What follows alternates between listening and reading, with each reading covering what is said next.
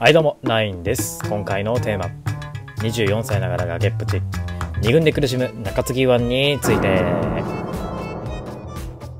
はい、今回取り上げる選手、活躍した年もありましたが、今季は2軍でかなり苦しんでおります。今回の動画では、なぜ崖っぷちなのか、復活の可能性はあるのかなど、様々な視点から考察していきますので、最後までご視聴よろしくお願いいたします。このチャンネルではカープに関する情報やネタ動画を投稿しておりますので、特にカープファンの方はチャンネル登録よろしくお願いいたします。では本編スタート。今回話の中心人物はもうお気づきの方も多いでしょう。そうです。松本龍也投手です。松本投手は1999年9月18日生まれの今季25歳。奈良県桜井市出身。身長178センチ、体重103キロ。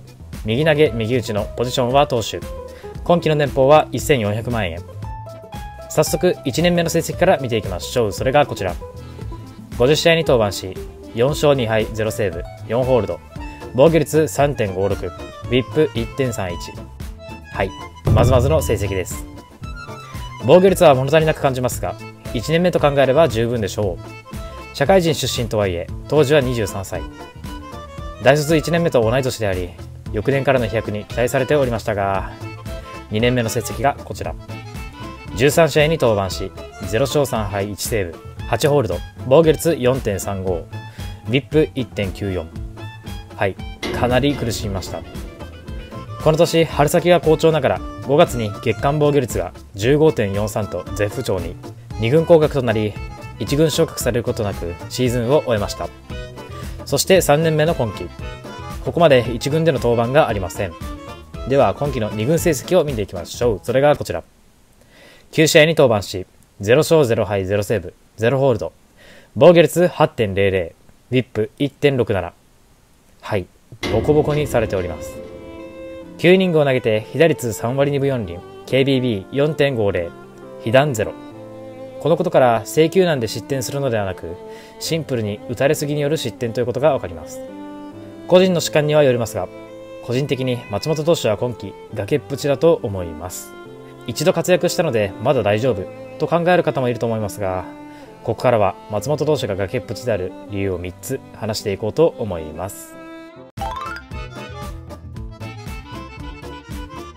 1、直球の精度悪化。松本投手といえば直球で押して三振を奪っていくスタイルです。しかし昨年から直球の球威が落ちているようにも感じます。キャリアハイである2022年と昨年の球種別被打率を見ていきましょうそれがこちら。はい。直球が通用しなくなっております。やはり松本投手の最大の魅力である直球。これが打たれてしまうと三振を奪うための配球が難しくなり良さが消えてしまいます。これが崖っぷちである最大の原因であると思います。2リリーフ陣の層が厚い。成績が悪くなっても同じポジションの層が薄ければチャンスはもらえますが松本投手の場合はどうでしょうか？松本投手は中継ぎ右腕。今季中継ぎ右腕として期待されるのは増田投手ケムラ投手中崎投手大道投手矢崎投手島内投手など。そしてここまで結果を残しているのは中崎投手矢崎投手島内投手の3人。リリーフは6人必要と考えると残りは3枠ありますが黒原投手堀江投手森浦投手の3人のリリーフ左腕が安定感を見せておりリリーフ陣の層が厚くなっております。松本投手は昨年不調になったらすぐに2軍に落とされてしまったのは昨年から島内投手中崎投手の復活。大道投手の台頭。また試合数は少なかったものの増田投手が終盤でアピール。昨年は特に右投手の層が厚かったです。層が薄ければ多少の不調があっても1軍には残れますが今のカープでは難しいです。ライバルが多いのも崖っぷちである原因の一つでしょう。3スキャンダルについて。好成績を残せなくても素行面が良ければ長く契約してもらえることがあり復活までチャンスを与えられることもありますが松本投手の場合はどうでしょうか。結論から言うと首脳陣は松本投手の素行面をあまり評価していないと思います。松本投手はカープ入団後不倫疑惑が出たこともあり現在もマイナスなイメージを持つファンは少なくありません。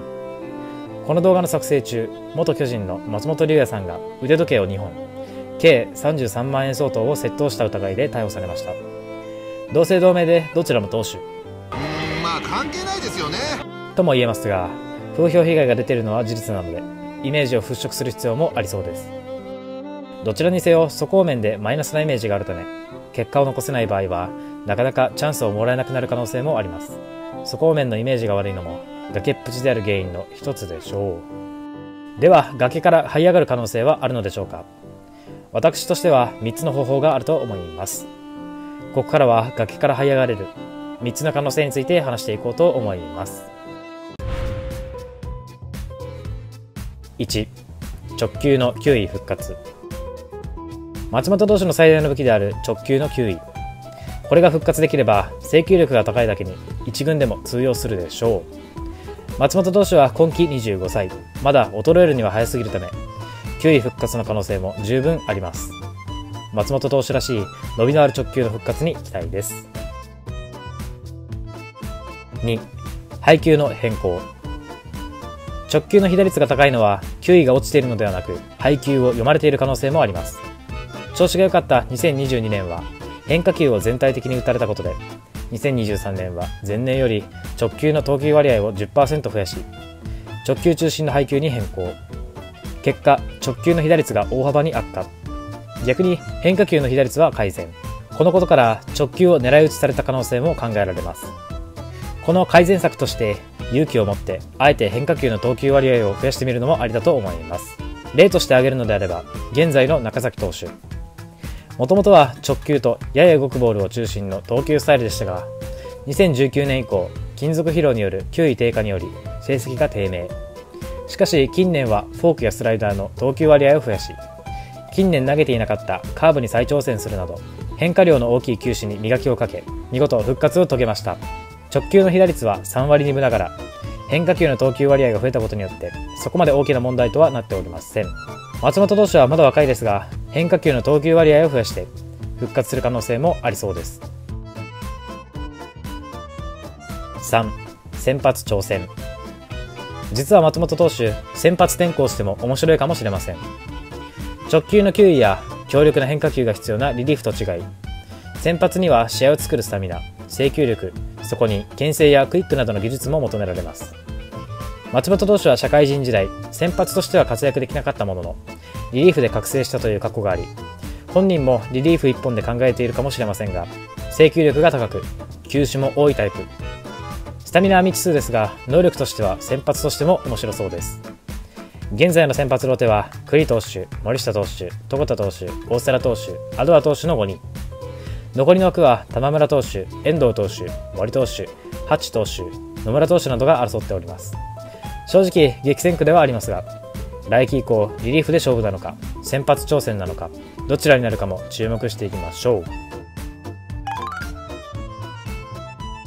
はいここまでの動画の内容をまとめると崖っぷちの理由は直球の精度悪化リリーフ陣の層が厚いことスキャンダルについての3つ。復活の可能性は直球の球威復活配球の変更先発挑戦この3つです。はいいかがでしたでしょうか？今回の動画で松本投手の現状が分かったと思った方復活の可能性はありそうと思った方は高評価よろしくお願いいたします。はい最後までご視聴ありがとうございました。このチャンネルではカープに関する情報やネタ動画を投稿しておりますので特にカープファンの方はチャンネル登録よろしくお願いいたします。ではまた次の動画でお会いしましょう。